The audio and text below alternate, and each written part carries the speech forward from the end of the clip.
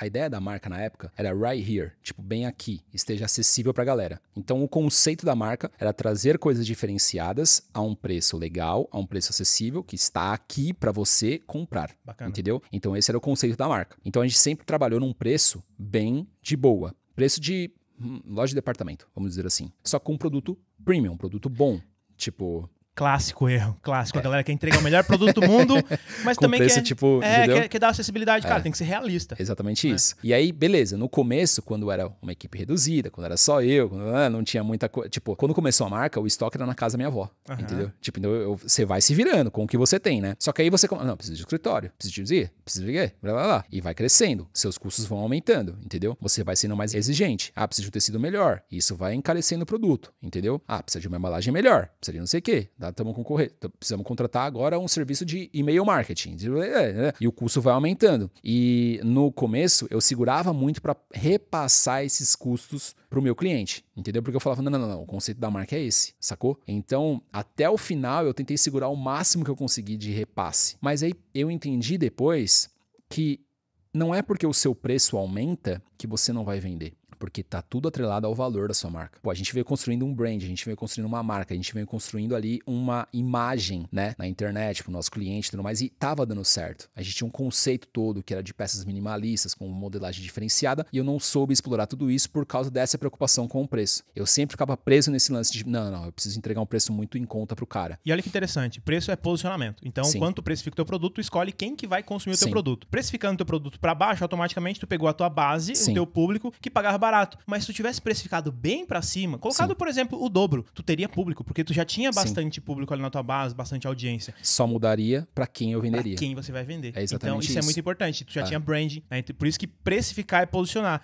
A galera começa uma marca e fica com medo. Mas É. a galera vai, vai pagar o preço, será? Se você fizer um bom trabalho, Vai tiver pagar. audiência, vai pagar. É exatamente isso. E foi isso que eu errei também. Porque, como a gente já tinha um conceito, a gente já tinha uma. Mano, você- olhava o Instagram da marca na época, você olhava as fotos, você olhava o, trabalho que a gente fazia, né? Pô, a gente contratava fotógrafo, a gente contratava o videomaker pra fazer. Então, a gente tinha um trabalho refinado, assim, Eu fico sabe? pensando em quanto tava de negativo nessa planilha.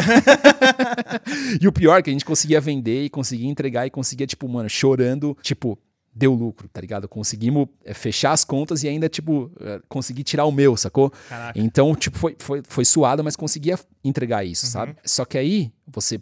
Mano, a gente podia ter ganhado 20 vezes mais. Total. 50 vezes Total. mais. Entendeu? E essa Tipo- grana ia, ser, ia ser útil na hora de tomar a decisão de vou contratar, tenho Exatamente grana, vou trazer isso. gente boa É, pra dentro da marca. Aí é um isso. grande erro, cara. Sim. Tu não precificar no preço que tu consiga olhar, eu vou precisar contratar gente, eu preciso ter essa margem de lucro É. pra contratar um time e aí eu tu fica ali, de uma estrutura. tô tirando o meu, É. mas fica, a marca fica dependente de mim. Exatamente isso. Então, esse foi um, um erro que a gente cometeu. Puta, vou segurar o preço até o máximo, porque o conceito da marca. Não, o conceito da marca é bem aqui, beleza, mas a gente poderia entregar de uma maneira acessível pra galera, com um conceito legal, só que de uma precificação diferente. Mudou o público, entendeu? Virou a chavinha. Sacou? E isso poderia ter feito gradativamente. Não precisava de uma coleção, tô vendendo uma camiseta a 90 reais, na próxima tá vendendo a 200. Não. A gente poderia ter subido, escalado isso de uma maneira diferenciada, entendeu? E até mesmo poderia é, é- é perigoso, né? Claro, porque tu mudar tava de uma hora pra Tu outra. tava né? entregando um produto É. incrível pra um cara que tava consumindo teu produto. Aí, de repente, tu... Ah, mas eu não vou abandonar esse cara. Eu vou continuar vendendo 90 reais aqui, É. mas vou pegar um produto de baixa qualidade. Aí lascou também. Sim. Por isso que começar é algo que, cara, é decisivo, né? Pô, começa certinho, começa da forma correta e não é difícil. Tem informação, tem conhecimento. É. Se informa,